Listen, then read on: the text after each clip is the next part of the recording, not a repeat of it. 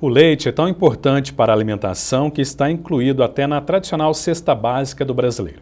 Mas tem muita gente com dificuldade de manter o consumo da mesma quantidade do produto que adquiria até pouco tempo. Que o preço subiu, todo mundo sabe. O que nós vamos ver agora é por que esse item está com toda essa valorização no mercado. No início de 2016, o preço mais barato de um litro de leite de caixinha em uma das principais redes de supermercado de Varginha era de R$ 1,98, mas os meses seguintes foi só crescendo. Em março, ficou em R$ 2,38, abril, R$ 2,48. Em maio, subiu mais 20 centavos. Em junho, foi para R$ 2,99 e no mês passado saltou para R$ 3,28. No total, alta de mais de 65%. Neste ano, especificamente, não foi somente a sazonalidade que é, impactou preços. Há um outro comportamento que nós é, detectamos em que o produtor se sente desestimulado a continuar produzindo e até mesmo muitos deles têm desfeito de suas matrizes, ou seja, estão vendendo suas matrizes para o abate, com isso, menor produção, maior preço. Eduardo é produtor de leite na cidade. O rebanho dele é responsável por produzir 2 mil litros todos os dias. Ele reforça que este aumento é consequência da alta dos insumos e da falta de reajuste nos anos anteriores. Com a alta do dólar do ano passado para cá, os insumos subiram muito.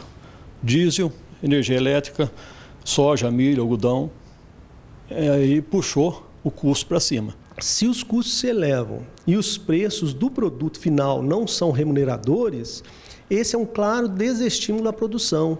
E isso se verifica e ajuda a entender né, o, o, comportamento do preço do leite ao longo deste ano. Muita gente foi largando tirar leite, não aguentou. A gente foi desistindo, desistindo, vendendo vaca para matar. Muita vaca foi para o açougue, virou carne e nisso começou a faltar leite. Então, quando começou a faltar o leite, aí o preço do leite subiu devido à falta de leite. E este reajuste acaba impactando outros setores. É o caso desta padaria. O tradicional pão com manteiga com um copo de leite teve que sofrer um aumento de mais de 30%. O maior problema foi com as empresas, porque nós fornecemos os, os pães com manteiga e leite também. E só que nós temos o contrato anual. E a gente já prevê um, um reajuste né, para 12 meses.